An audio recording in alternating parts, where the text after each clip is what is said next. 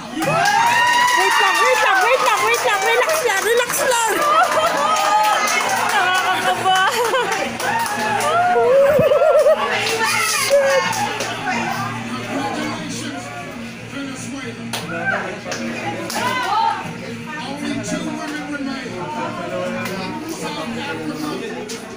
Philippines. Please come. Huwag kang magulo, Bechay.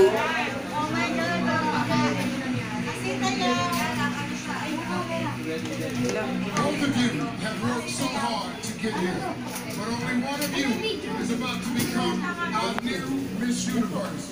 If for any reason the woman is unable to fulfill her duties, the first runner-up will take her place.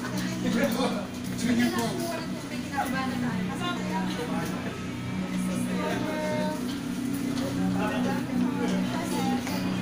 Parang maganda.